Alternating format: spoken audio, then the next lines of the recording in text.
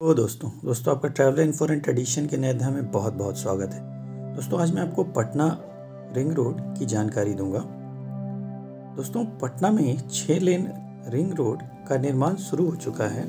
इसमें ज़मीन अधिग्रहण का काम भी तेज़ी से पूरा हो रहा है और यह लगभग लगभग एक सौ सैंतीस किलोमीटर तक कवर करेगा। दोस्तों, इसकी संभावना 2025 तक जताई जा रही है, जो आम जनता के लिए इसे खोल ले जाने की दोस्तों रिंग रोड के पैकेज दो में गंगा नदी पर दिगवारा शेरपुर पुल का करीब 15 किलोमीटर लंबाई में करीब 5000 करोड़ रुपए की अनुमानित लागत से निर्माण एजेंसियों को नया टेंडर के माध्यम से इसे शुरू किया जाना है।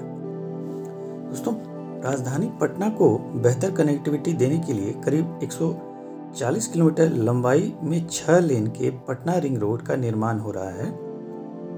इस कड़ी में फ़िलहाल Patna ring road package one में रामनगर से कन्हौली तक सिक्स लेन सड़क का निर्माण प्रक्रिया शुरू हो रहा है, लेकिन फ्लाई एस की कमी से काम पर असर भी पड़ रहा है। इससे सड़क निर्माण का काम लगभग लगभग पचास प्रतिशत भी कम हुआ है। पहले फ़ेज़ में सड़क का पूरा काम का लक्ष्य मार्च 2023 तक रखा गया था, लेकिन अब इसे बढ़ाए जाने की संभावना है। दोस्तों फ्लाई एस की जो कमी है, उससे क्या फ़र्क पड़ रहा है, इसके बारे में मैं जानकारी दे दूँ।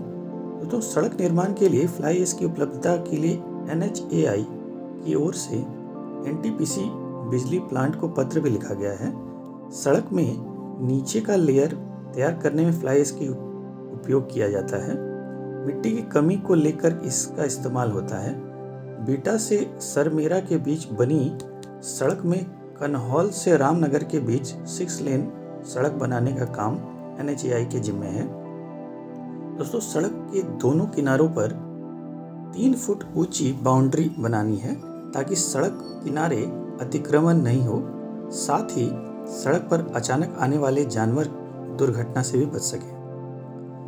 दोस्तों इसके अलावा शेरपुर व दिगवारा के बीच ज़मीन अधिग्रहण का काम बहुत तेज गति से बढ़ रहा है। दोस्तों, पैकेज दो में गंगा नदी पर दिगवारा शेरपुर पुल का करीब 15 किलोमीटर लंबाई में करीब 5000 करोड़ रुपए की अनुमानित लागत इसमें जताई जा रही है, जो कि टेंडर के माध्यम से पूरा किया जाना है। इसमें 9 किलोमीटर जो पुल है, की लंबाई रहेगी और शेरपुर व दिगवारा दोनों साइड में छः किलोमीटर का अप्रोच रोड भी बनेगा और शेरपुर साइड में अप्रोच रोड को कन्हौल से जोड़ा जाएगा। इसके अलावा दोस्तों, शेरपुर से दिगवारा के बीच बनने वाला पुल में लगभग आठ किलोमीटर का हिस्सा गंगहारा इलाके में बनाना है।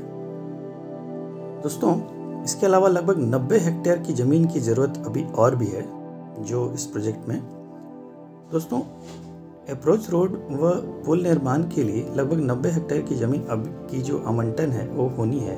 इसमें पटना साइड में लगभग लगभग 70 हेक्टेयर ज़मीन चाहिए और दिगवारा साइड में लगभग लगभग 20 हेक्टेयर ज़मीन की आवश्यकता पड़ेगी और पटना साइड में ज़मीन अधिग्रहण के एवज में लगभग बी बारह करोड़ मुआवजा देना है, दोस्तों।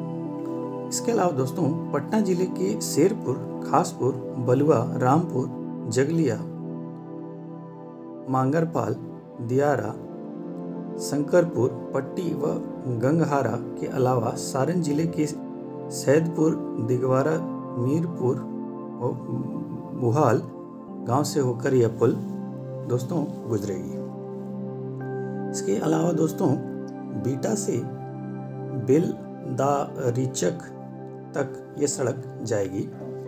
दोस्तों, करीब 38 किलोमीटर में Ramnagar Kanhaul Patna ring road package one बनाने की जो शुरुआत बीटा कन्हौल से हुई है, जो कि बीटा से यह सड़क कुम्हारार और मसौड़ी के बीच बेलदक रिचक तक बन जाएगी।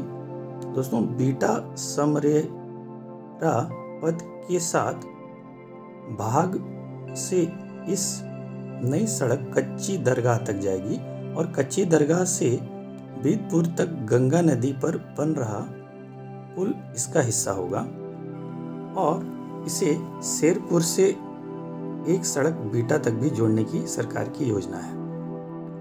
इसके अलावा दोस्तों, बीटा समरेरा, जो एन एच अठहत्तर बोलते हैं, और प्रस्तावित औरंगाबाद, दरभंगा, भारतमाला कॉरिडोर, रामनगर में पटना रिंग रोड से जोड़ा जाएगा। इसके साथ ही दानापुर के शेरपुर में सारण के दिगवारा के बीच गंगा पर नया पुल बनेगा और गंगा नदी के उत्तर की तरफ़ रिंग रोड से वैशाली को फोर लेन कनेक्टिविटी मिलेगी। दोस्तों, बता दें कि बख्तियारपुर, ताजपुर रास्ते आने वाले लोगों के लिए एन एच से चक सिकंदर और ताजपुर हाजीपुर रोड के वैशाली। जाना भी इसके बाद आसान हो जाएगा। दोस्तों, इसके अलावा सरकार की जो योजना है कि पटना के तर्ज पर लगभग लगभग पाँच नए शहर जिनमें रिंग रोड बनाने की कवायद जारी है, उनमें प्रमुख हैं दोस्तों गया, भागलपुर, मुजफ्फरपुर, जबकि बाकी दो शहर में भोजपुर, कटिहार, बेगूसराय, छपरा, दरभंगा पर विचार चल रहा है।